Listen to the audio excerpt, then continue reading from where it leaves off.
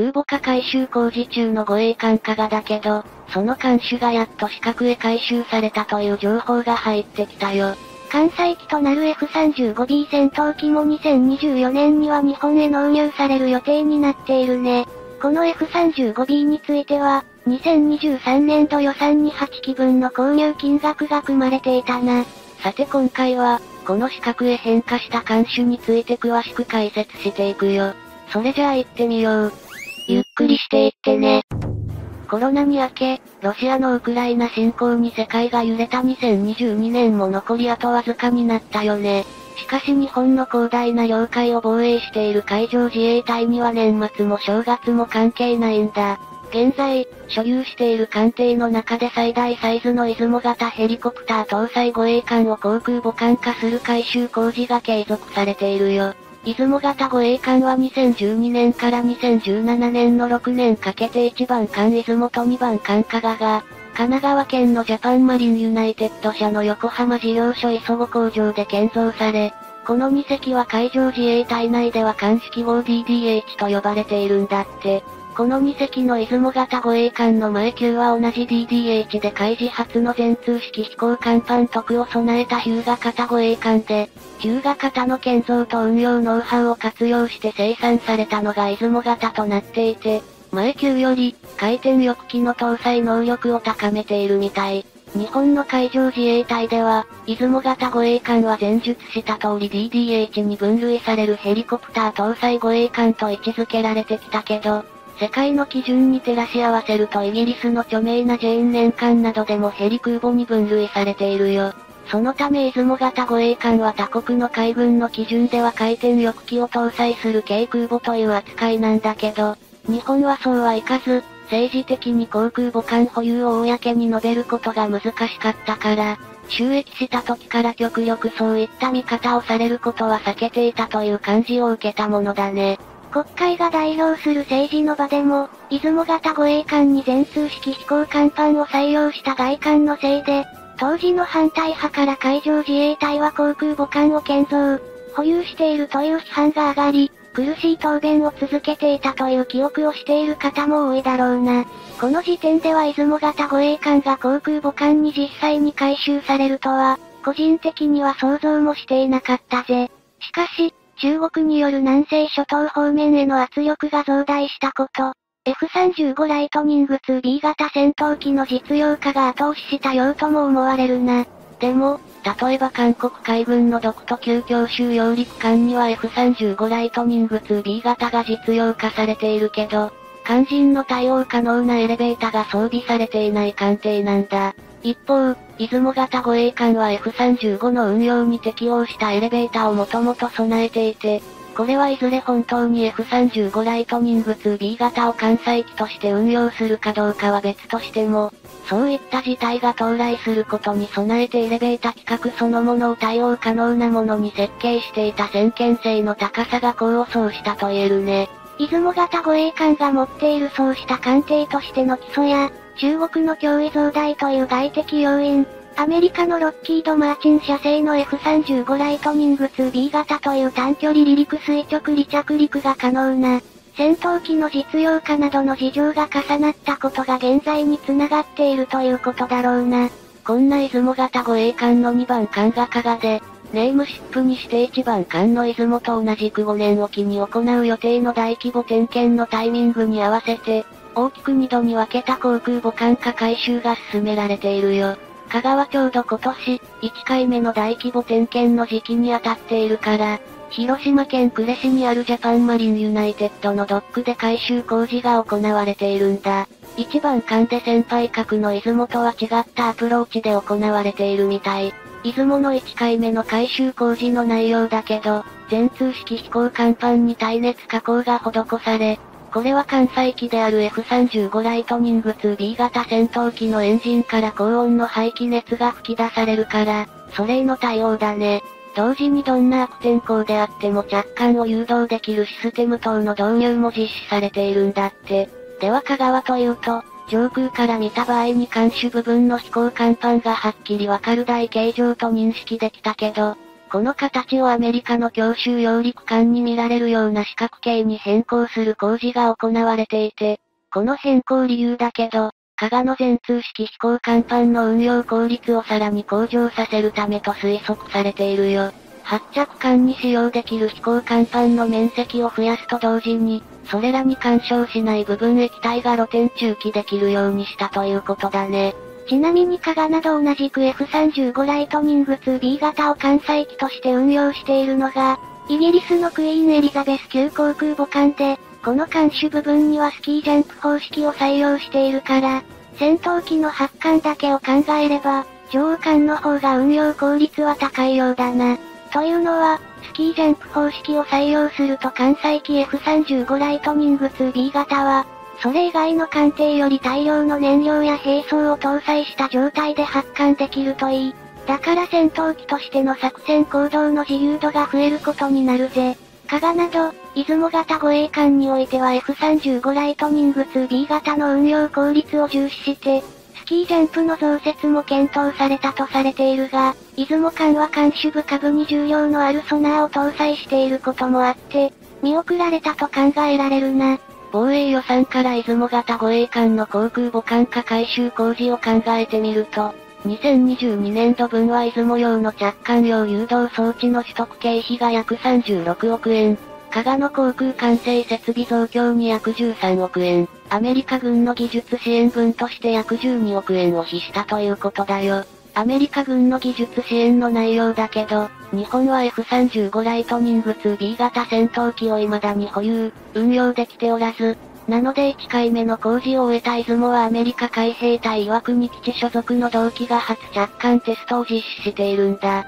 このような F35 ライトニング 2B 型の実機を使用した各種テストや、艦内格納庫をはじめとする準備費用として、アメリカ軍のリソースを活用する経費、いわばコンサルティング的経費がこれに充当されていると推察されるね。来年度2023年度防衛予算の内訳だけど、出雲型護衛艦航空母艦化改修に、出雲と加賀の2隻で総額約52億円を投じることが確定していて、つまり、夏の概算請求にさらに上乗せされているってわけ。出雲型護衛艦の基本スペックを紹介すると、基準排水量1万9500トン、満載排水量2万6000トン、全長248.0メートル、全幅38.0メートルで、F35 ライトニング 2B 型を艦載する場合はマックス約10機が艦内に収容可能と見られていて、F35 ライトニング 2B 型10機という艦載機数を考えると、航空母艦という言葉からイメージされる航空戦力としては決して大きいとは言えないと感じられるけど、個人的には次の艦艇建造への布石ではないかと思われるね。尖閣諸島を含む南西諸島防衛のためには、今後ますます当初防衛用装備の重要性が増加すると思われ、ということは、出雲型護衛艦で F35 ライトニング 2B 型戦闘機の運用実績を積み重ねて上で、以後の艦艇建造に反映させる方針ではないかと考えられるぜ。その際、航空戦力としての収容力増加が必須と判断された場合には、自給艦艇建造にも影響するだろうね。例えば満載排水量3000トンクラスの強襲揚陸艦タイプを建造する計画を立てる可能性もあるだろうし、現在より強く水陸両用作戦を念頭に置いたものを購入することになるのかもしれないもん。どちらにしても現状では南西諸島方面で自衛隊が使用できる滑走路は、沖縄本島のみしか存在しておらず、ということを考えると、出雲型護衛艦は一丁有事の際、貴重な航空戦力の当社母体となり、臨時の移動滑走路としての役割も担うものになると考えられるぜ。70年前の話だが、香川太平洋戦争中も大日本帝国海軍の航空母艦加賀として存在していたな。香川基準排水量3万8200トン、満載排水量4万2541トン、全長248.6メートル、全幅32.5メートルという大型艦だったもんね。ただし、注意書きがあり、この加賀がこれまでの排水量を誇ったのは航空母艦ではなかったからで、もともとは加賀型戦艦として建造が予定されていたんだけど、1921年大正10年採択されたワシントン海軍軍縮条約によって、設計を変更したせいで、それが現在空母に生まれ変わるというのは、歴史の流れを感じるよ。それじゃあ今回はこの辺で、よかったら、チャンネル登録してね。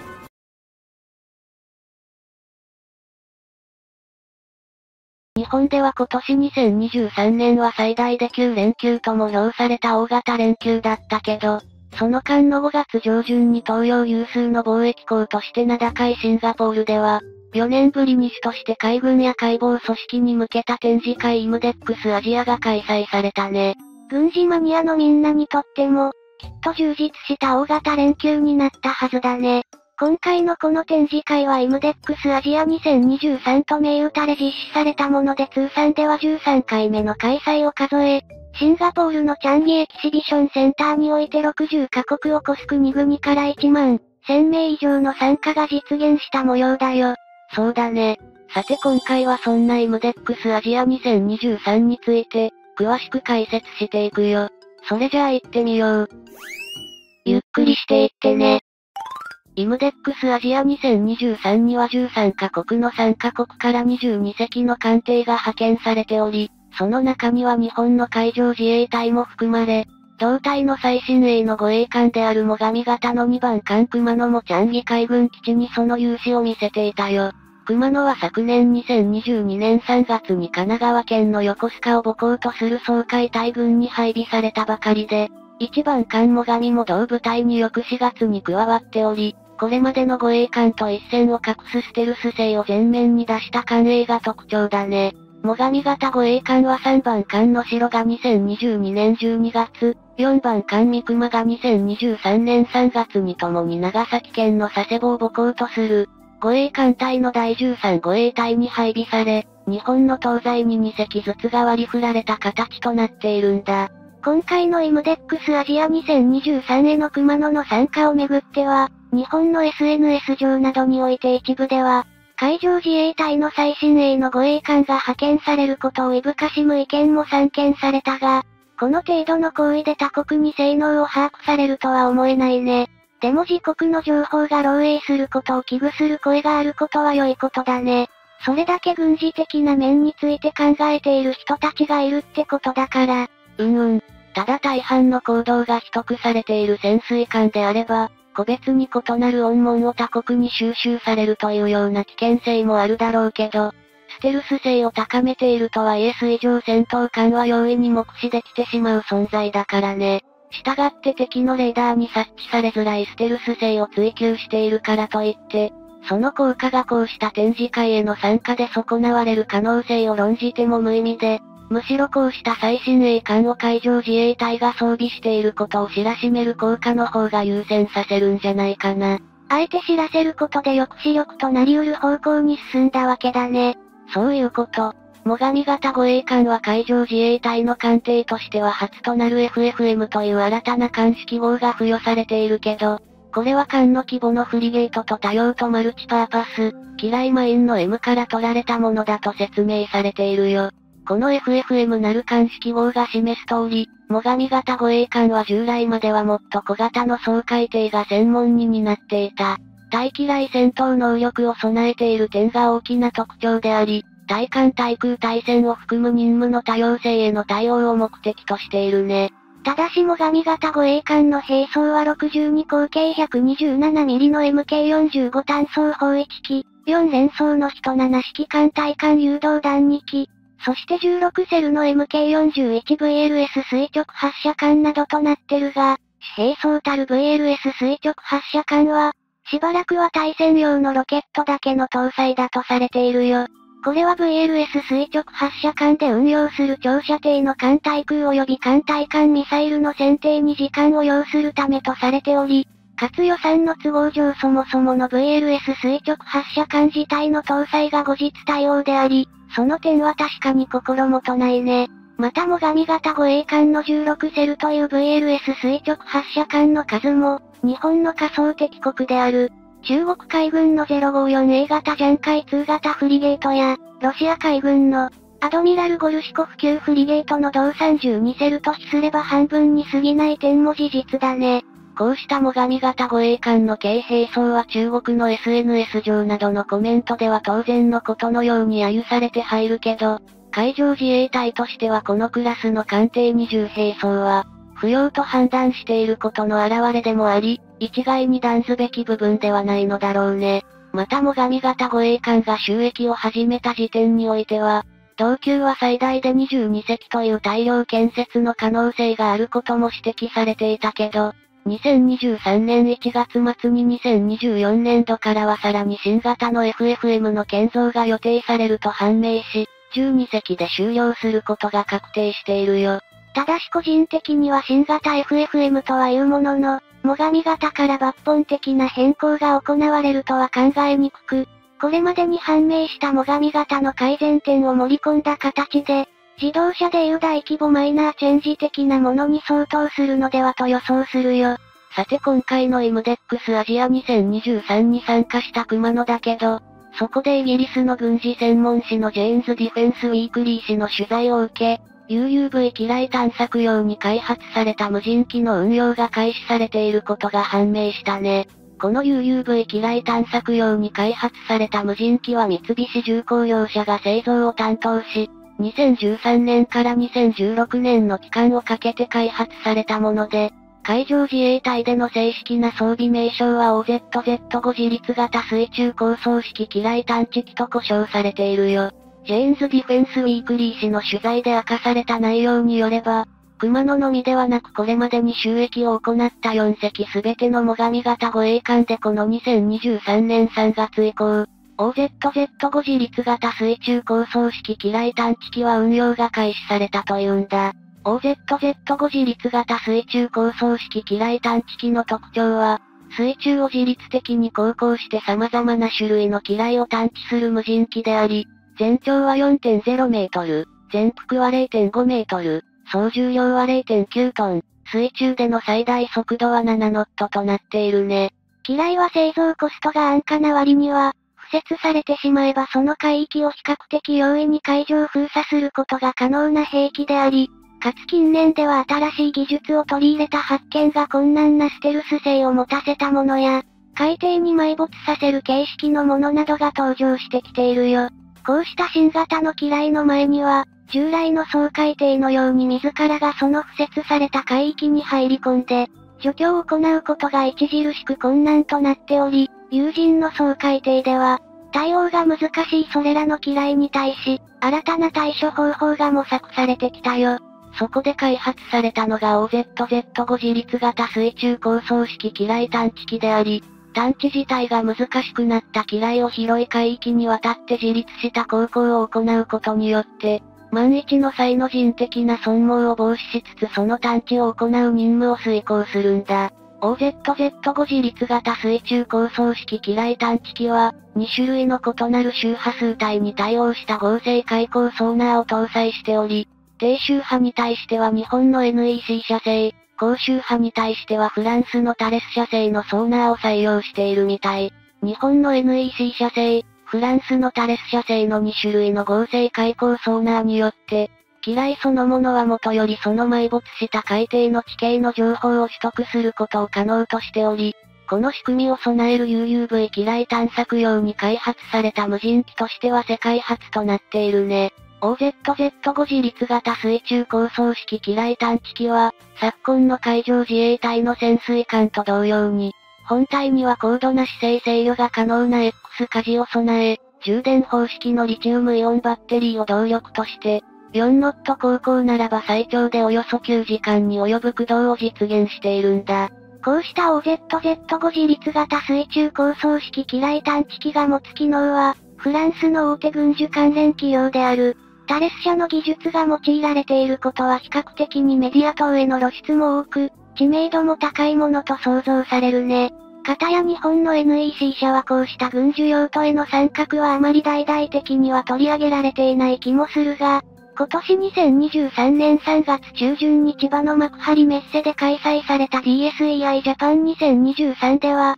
同社のブース内で OZZ5 自立型水中構想式機雷探知機の模型が展示されたよ。日本の防衛産業に製品を開発している企業は、どうしても自衛隊のみが供給先であるため製造数量が限られ、商業的には採算が合わないことが多く撤退企業も後を絶たないが、NEC 社には防衛産業分野でさらなる協力を願わずにはいられないよね。それじゃあ今回はこの辺で、よかったら、チャンネル登録してね。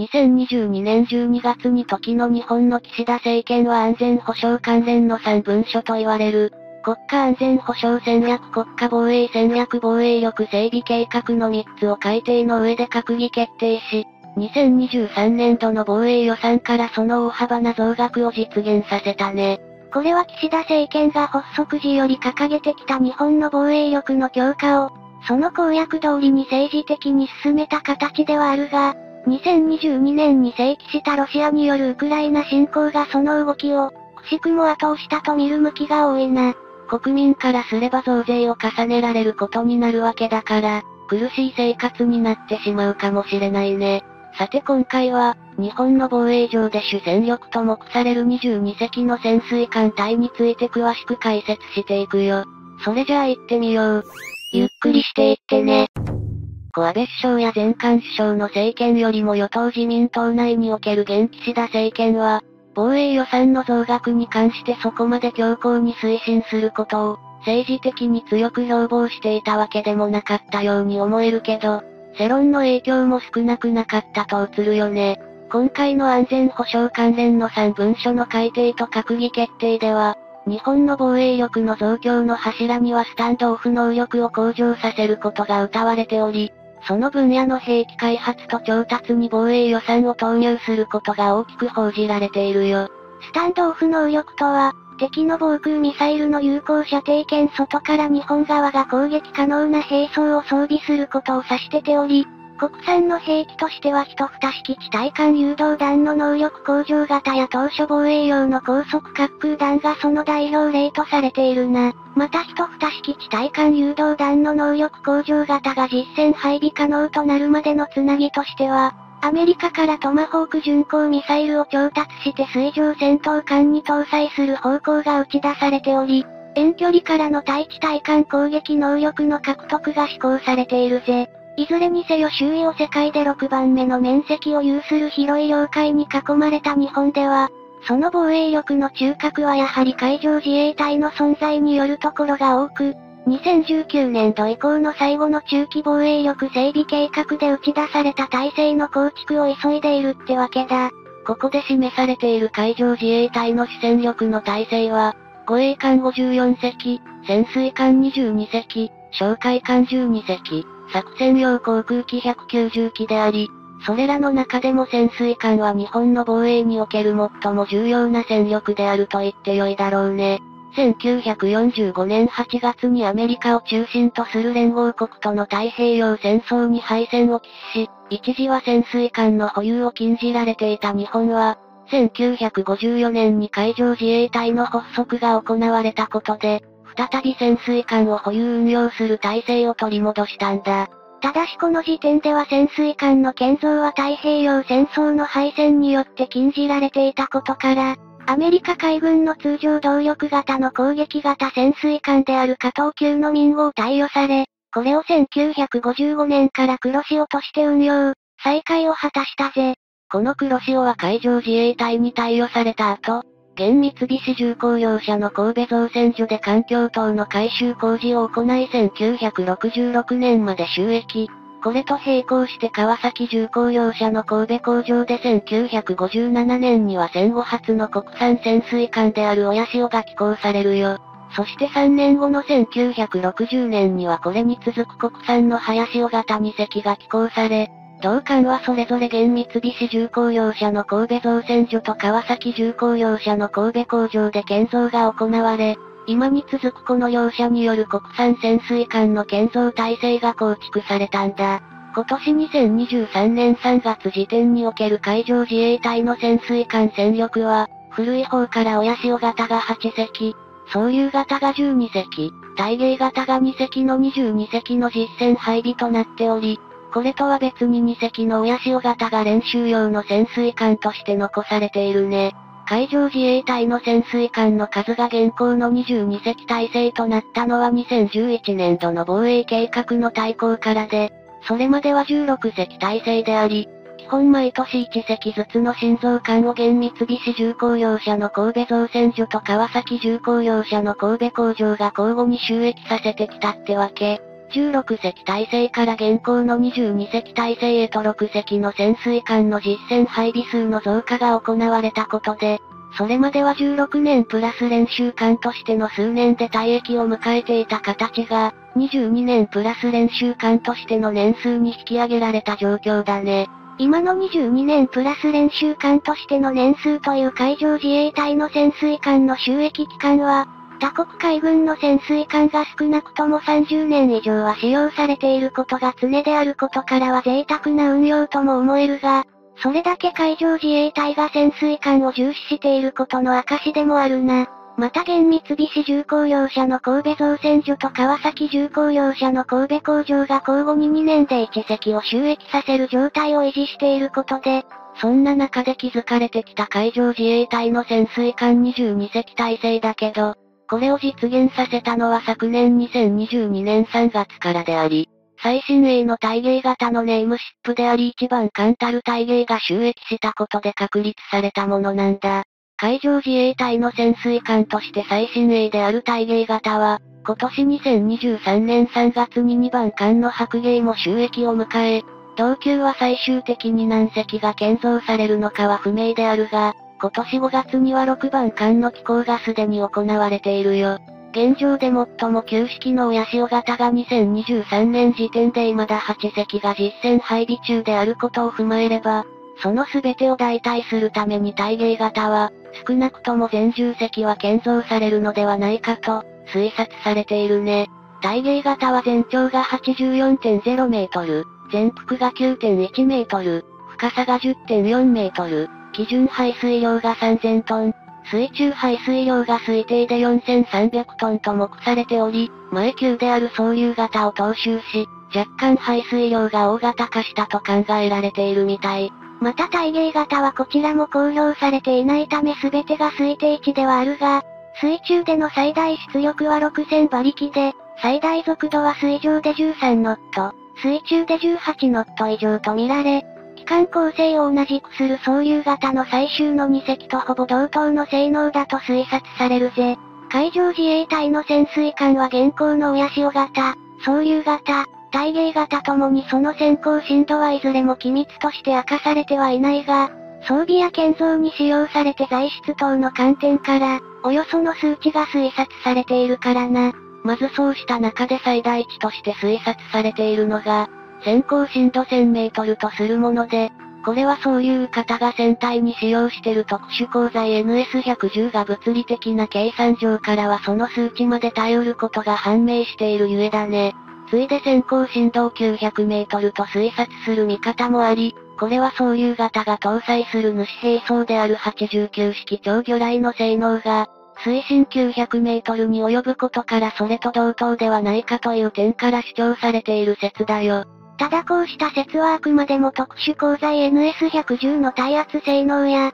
89式超魚雷の性能をもとに可能性として言及されているもので、潜水艦の本体自体はそこまで実際に到達しているとみなす見方は一般的ではないぜ。少し古い話で恐縮ではあるが、現在の日本の最大の仮想敵国である中国では2017年に総流型の先行振動通常で500メートル、最大で600メートルほどと予想する記事がインターネット上で確認されたな。中国側のこの記事によれば特殊鋼材 NS110 の耐圧性能の最大値は踏まえつつも、総流型の潜水艦としての大きさや規模を踏まて現実的な推察を行ったと考えられ、個人的にはこれはいい線をついているように感じるぜ。しかし総流型以降の日本の潜水艦が仮にこうした仮想敵国である中国側の見立て通りの先行振動を有してると仮定しても、対中国艦艇との対峙が予期される東シナ海は水深はおよそ200メートルほどと非常に浅いんだ。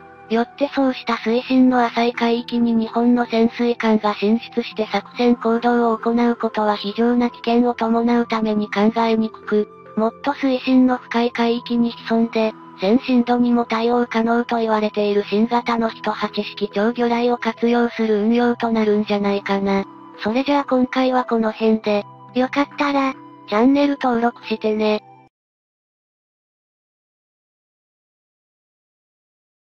最上型護衛艦は今までの護衛艦と打って変わった形状をしているよね。ステルス性を重視して設計されたステルス艦って感じだよ。全体の形は、レーダー反射面積 RCS イコールレーダークロスセクションを小さくするため、船体や上部構造を単純平面化しかつ反射波が情報に向くよう傾斜がつけてあるぜ。また従来甲板上に露出していた闘病装置類などの装備は艦内に収められているな。この形状は世界の艦艇の主流となっているんだよね。だから、最上型がこの方式を採用したのは世界では早い方とは言えないんでしょ？さて今回はそんな最上型護衛艦の性能と役割について詳しく解説していくよ。それじゃあ行ってみよう。ゆっくりしていってね。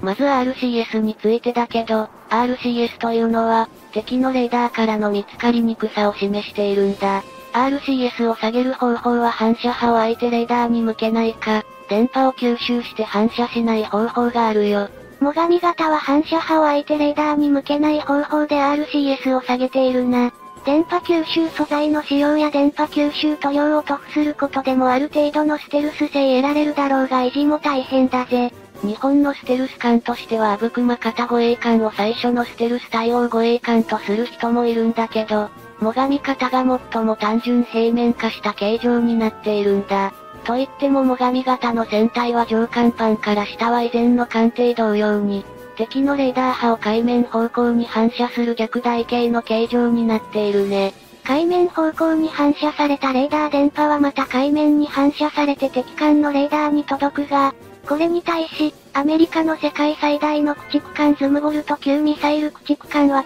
喫水線から上が台形で、敵レーダー波は全てが情報に反射されるぜ。ズムボルト級は対地攻撃を目的として設計されており、敵地に近づく必要があり、艦艇レーダーより高い高地に設置され遠距離まで捜索できる強力なレーダーに対してもステルス性を発揮できなければならないんだが、ズムボルト級は平面を組み合わせた船体形状で、RCS を在来型水上艦の50分の1程度に低減したとされているな。最上型護衛艦は、全長133メートル、全幅16.3メートル、排水量3900トンで、最大速力は約30ノット約55.6キロ毎時以上とされていて、エンジンは海事護衛艦として初めてガスタービンとディーゼルを併用する CODAG 方式のエンジンとなっているよ。低速及び巡航速度ではディーゼルで高速ではガスタービンを併用し、出力は7万 PS だね。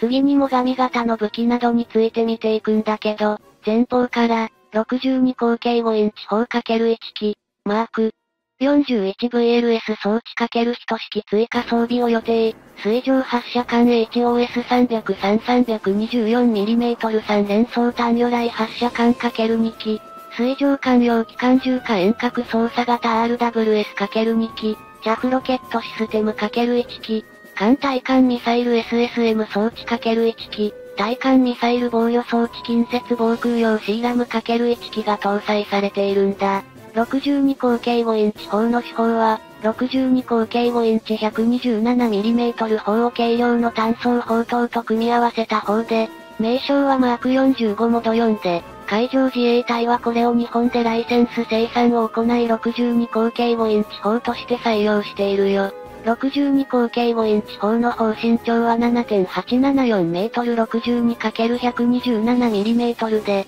砲塔は耐水構造のアルミニウム合金製、砲重量は約29トン、自動装填により完全無人化されているね。初速は、新品状態で808メートル毎秒、射程は 37km、発射速度は16-20発毎分で、ステルスマストに装備されているフェーズドアレイレーダー OPY2 が主砲射撃管制にも使用されるんだ。次にマーク。41VLS 装置は追加装備が予定されていて、具体的にはシンガポール海軍のフォーミダブル級フリゲートのような感じになるとされており、VLS をレーダー遮蔽板で囲い、ステルス化してあるみたい。そして水上発射管 HOS303 は2段積みにされた3本の発射管、旋回装置、発射装置などで構成され管の両舷に設置されていて、重量 320kg、全長 2832mm の97魚雷、ヒトニー魚雷やアメリカのマーク、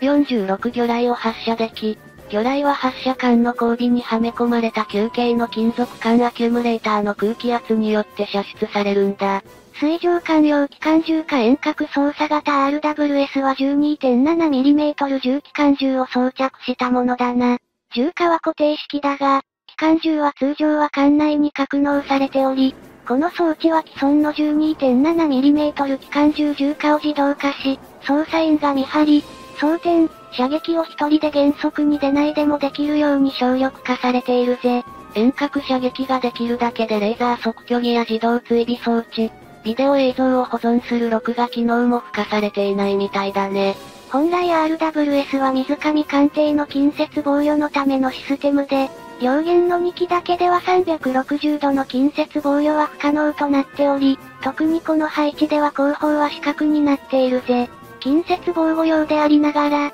後方から高速で自爆ボートなどが来たような場合対応できないだろうな。艦の後方には対艦ミサイル防御装置近接防空兵器があるんだけど、短距離用ミサイルしか搭載していないみたいだしね。ジャフロケットシステムは攻撃機や対艦ミサイルなどの攻撃に対し、飛来するミサイルの誘導装置や敵型のレーダーに対して時間の位置を不明瞭にするために発射されるよ。電子戦支援 ESM システム、レーダー警報受信機などと連動して、脅威を探知すると同時に、ロケットが発射され、ロケットがアルミニウム箔や金属ワイヤーなどチャフト油を空中散布するんだ。チャフロケットシステムはマーク、137発射機 ×2 機両舷に各1機とマーク、164制御盤、ク、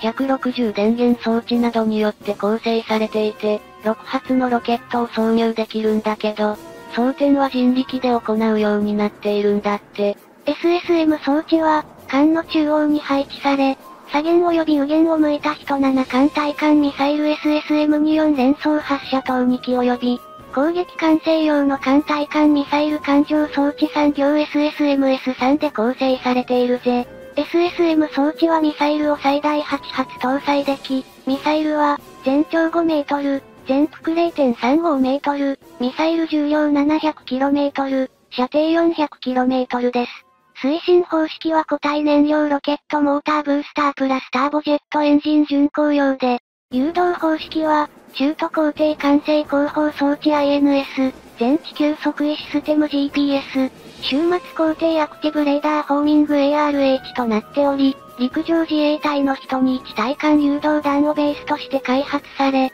目標座標を入力すれば地上目標の精密打撃も可能なため、有事には地上部隊支援のための対地攻撃用としても使用できるらしいな。対艦ミサイル防御装置はイージス艦の区域防空や艦隊防空及び搭載予定の VLS による股間防空をくぐり抜けて、飛来する対艦ミサイルを最終防衛ラインとして迎撃する近接防御武器システムだね。使用するミサイルはリム116ラムで、ミサイルは FRP 製キャニスターに入れられた状態で供給され、人力により発射機に装填されるよ。対艦ミサイルの飛来を、艦艇のレーダーや ESM 電子戦支援装置、光学赤外線装置などで探知すると、目標データをミサイルに付与して、発射機が敵ミサイルの飛来方向に向けられ、ミサイルが発射されるんだけど、以後は艦艇からの誘導を必要とせず、自立飛行して目標に向かうから、他の目標に向け、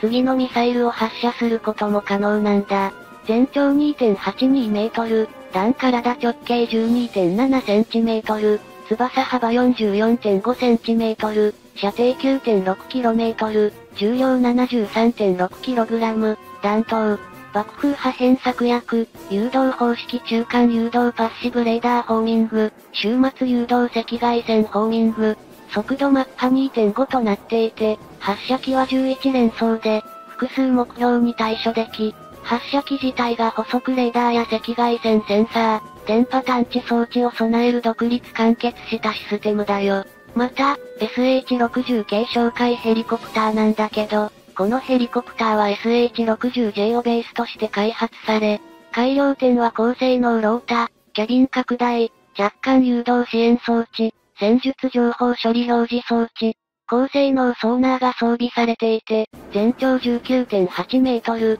メインローター直径16.4メートルとなっているね。そして無人高層体 UUV である OZZ5 は全長約4ム、全幅0.5メートルで、重さ 900kg となっているよ。OZZ5 は、ステルス機雷など探知しにくい機雷を自動探知する高周波合成開口ソーナーと、海底に埋没した機雷を探知する低周波合成開口ソーナーが搭載されていて、2周波の合成開口ソーナーを同時搭載した水中無人機は、本気が世界初なんだ。無人水上艇 USV は無人高層体 UUV と連携して行動することになっているぜ。また、最上型は監視対戦ソーナーが廃止されソーナーは OQQ25 に一本化されており、OQQ25 はパッシブ機能とアクティブ受信機能を併用でき、可変ソーナー VDS と受信アレイ TASS から構成されていて、アクティブでは VDS から音波発信し TASS 側で得られた音源を受信するらしいな。大機雷専用ソーナーは艦の最下部に、簡易型機雷敷設装置は艦の最後尾にあるね。複合作業艇は内否定と通称されていて、船体側面のハッチを開き、固有のクレーンで上げ下げされるよ。最後に出雲型護衛艦の役割についてなんだけど、最上型護衛艦は、増強著しい中国軍の海洋進出、特に台湾や南西諸島への侵攻機とに対処するため、我が国海上防衛の一端を担う次世代型多目的フリゲートだね。最上型の護衛艦艦艇記号 FFM は新設されていて、対空対艦、対戦対機雷戦など多様な戦闘任務を遂行する多機能護衛艦フリゲートマルチパーパスマインの略称となっているよ。最上型は、沿岸警備を行い、対戦戦や対空戦、対水上戦など従来の護衛艦の機能を備え、対機雷戦機能を持つ護衛艦ってわけだな。現在の日本の防衛戦略で喫緊の課題となる当初防衛に投入する新型艦艇だぜ。電子装備はヘリ空母出雲型以降の護衛艦潜水艦から採用されている標準システムと同じで、戦術データリンクは新型のリンク22 NATO 規格を搭載しているから、当然だけど他の艦艇との連携ができ、通信用アンテナは、マスト頂き部の棒状の NORA50 複合アンテナに組み込まれ、このアンテナには電子光学センサー OAX3 複合センサーも入っているよ。それじゃあ今回はこの辺で、よかったら、チャンネル登録してね。日本が進めている F2 戦闘機の次期戦闘機計画だけど、別名 F3 計画と呼ばれているみたいだね。この純国産を目指して計画されている F3 戦闘機と同時に配備される予定とされているのが、AI を搭載した無人戦闘機ってわけだ。日本も着々と防衛力を上げていかないとだからね。そうだね。さて今回はこの無人機などについて詳しく解説していくよ。それじゃあ行ってみよう。ゆっくりしていってね。それにしても、戦争の様子は記録されている100年前の第一次世界大戦などから比べると全く別物になったよね。残壕戦などと呼ばれる悲惨な戦争を経て、たった一つの爆弾で何万人もの命を奪った戦争。そして現在はボタン一つで地球の裏側にいる敵を、顔を見ることもなく、名前を知ることもなく殺すことができる戦争になってしまったからね。自分が殺す相手の顔を見ることがない、効率的ではあるけど、非人間的な冷酷すぎる戦争が現実化しつつあるんだろうね。2021年5月、防衛省は現在開発中の F2 戦闘機の後継機として国産次期戦闘機と連携して使用される、無人機の実証機開発関連費を2022年度予算の概算要求に盛り込むという方針を公表したよ。この次期戦闘機は国内企業グループで開発を進めている機体で、2030年代半ばからの配備を目標としていると聞き、開発内容としては、作戦や任務遂行のための基本となるミッションシステム並走やセンサーなどを統合、連携させるや、インテグレーション統一、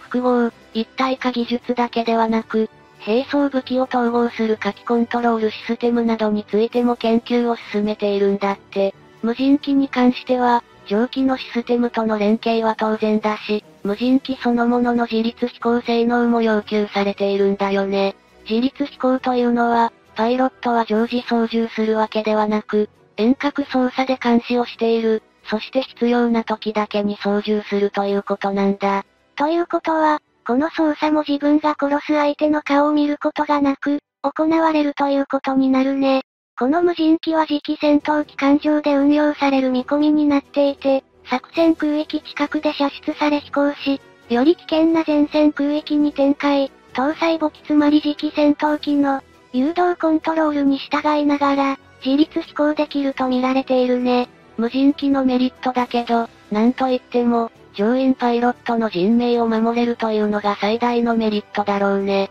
それだけではなく、有人機ではできない運動性能が十分発揮できるし、コックピットスペースが不要になるから、そのスペース分が小型化できるんだ。そしてパイロットがいないので、その分の重量が減り、となると、その分積み込む燃料も増やることになり、燃料が増えれば、航続距離は伸びるし、兵器の搭載量も増やせる計算になるってわけ。当然のことだが、機体の形状にも影響はあって、機体の凹凸が減らせるというメリットがあり、凹凸が減れば、ステルス性能向上に結びつくよ。経費の面でも、有人機と比べると必要経費は大幅に減ることになり、パイロットの人件費も削減され、そして極論だが、ミサイルのように使い捨ての戦闘機として活用することもできるというわけだね。使い捨てというけど、マスクやコンタクトレンズ、カメラじゃないから、注ぎ込む巨額経費を考えれば、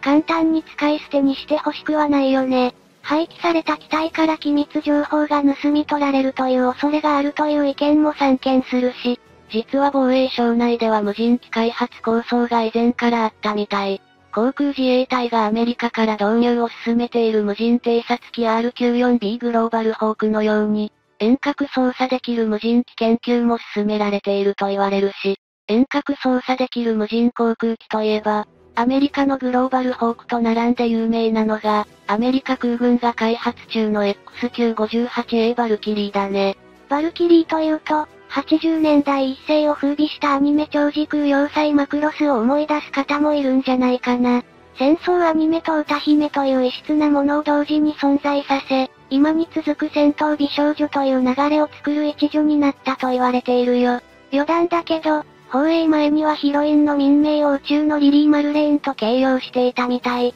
放映が始まったらこの形容は使われることがなくなったんだけど。さて、現実のバルキリーを開発した会社だけど、アメリカの軍需産業界ではほとんど名が知られていなかったクラトス社だね。このバルキリーは AI を搭載し、ア音速飛行と長距離飛行を可能にした自立飛行無人機で、バルキリーの初飛行は2019年平成31年3月だったんだけど、初飛行の成功以来、何回もテスト飛行を重ね、2年後の2021年3月の6回目のテスト飛行で、ウェポンベイから小型ドローンを射出する実験に成功したと発表があったよ。バルキリーから打ち出されたドローンは小型無人航空機アルテウス600と呼ばれていて、アメリカ空軍研究所が提唱している低コスト消耗型航空機技術の一つとして開発されたもので、電子戦や信号傍受などを実行できる優秀な機体と言われているよ。アメリカ空軍は2019年に自立型無人システム実戦配備を目指してスカイボーグ計画を発表し、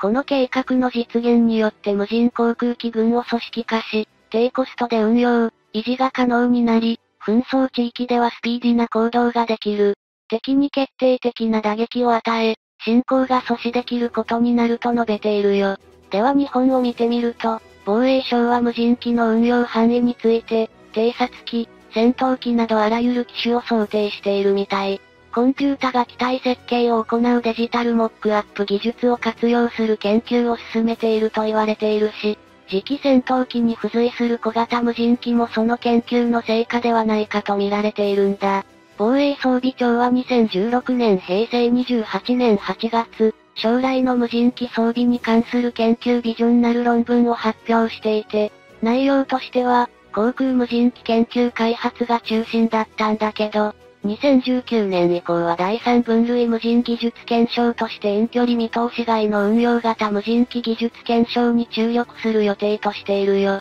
その後は第4分類無人技術検証戦闘型無人機の開発を継続していくだろうと思われるね。この研究ビジョンによると、無人機研究については前述以外にも近距離見通し内での運用型、特殊飛行型、携帯型ドローンなどが挙げられているらしいね。そして現在もこのビジョンを基本にしながら、実態に即した無人機研究開発を進めていると推測されるよ。ここでドローンについて改めて振り返ってみるんだけど、一口にドローンといっても、用途によって様々なものがあるよね。農薬散布、小型の荷物配達だけではなく、今回防衛省が公表した次期戦闘機と連携させる無人機の種類だけど、強引に表現してみると近距離見通し外運用型かつ携帯型無人機とも言うべきジャンルではないかと感じるよ。世界各国が無人戦闘機開発を進めている流れに乗り遅れないためだろうけど、日本の F15J 戦闘機の近代化改修計画が膠着状態になっているから、アメリカより早く開発成功の可能性がある第6世代次期戦闘機と連携を進めようとするのは、ごく自然なことじゃないかな？パイロットの疲労を防ぐことができる無人機戦闘機開発については、日本のみならず全ての国が注力していると言ってもオーバーではない現状だし、2021年2月、アメリカ国防高等研究計画局はロングショット開発計画なるものを発表していて、同時に国内3社に、空対空ミサイルを搭載して敵機を攻撃するためのドローン設計も発注したみたい。このドローンは有人機から操作するから、簿記の有人機を敵機から防衛する盾として使用されることになり、搭乗員の疲労をさらに減らせるだろうと考えられているんだ。アメリカとロシアは、搭載可能なドローンタイプの無人機のほか、現在所有している第5世代や、第4.5世代戦闘機と遠距離誘導型無人機をセットにして、チーム体制で運用も図りながら開発を進めているらしいと漏れ聞こえてくるよ。こういった観点から見ると、日本は遅れているのではないかという声があるみたいだね。そう言われても、防衛費には限りがあるし、無人戦闘機にだけ使えるわけではないから、文福茶釜ではないが、無人像に予算が湧いてくればな、とないものねだりをするのは日本だけではないと思うよ。だからこそ、限りある予算をあちこちに分散して消費してしまったら、すべてが中途半端になってしまうのではないかと危惧する意見があるんだよね。今は、欲張ることなく、次期戦闘機の実戦配備を急ぎつつ、連携させる無人機開発を、同時進行させるということに集中するべきではないかと思われるよ。それじゃあ今回はこの辺で、よかったら、チャンネル登録してね。